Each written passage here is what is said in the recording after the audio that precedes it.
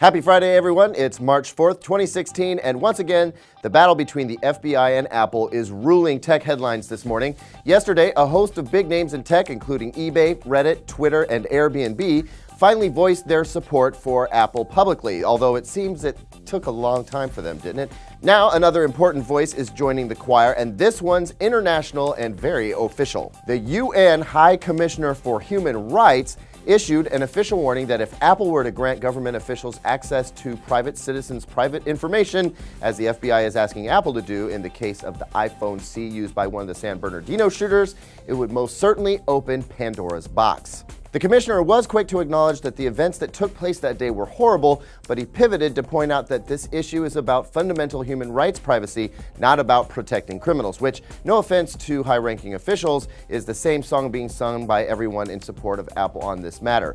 But it is notable that the world is watching and they don't like the potential outcome of the FBI getting its way. As for the FBI, the agency has yet to detail what it is they hope to get off the phone, and it's looking less and less likely like there's anything specific there. The San Bernardino County DA Michael Ramos just argued he fears that there is a, quote, dormant cyber pathogen, end quote, hiding on the phone that could impact county computer systems. Folks, that isn't a real thing. It doesn't even appear in the computer science lexicon. And so it seems if the truth is out there, we haven't heard it yet. Speaking of encryption, if you own an Amazon Kindle Fire tablet, be sure you aren't storing any sensitive information on it. Apparently, Amazon offered an encryption feature on the tablets, but nobody was using the feature, so they just decided to ditch it.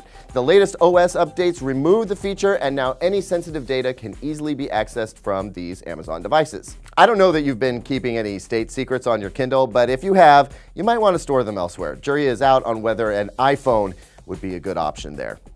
And finally, Digital Trends would like to thank our Facebook fans for helping us reach half a million followers this week. We are super excited about it and extremely appreciative of your support.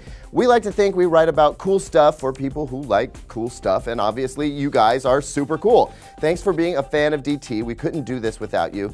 And as a token of our thanks, we're going to give away a 55 inch Samsung JU 6500 Series TV.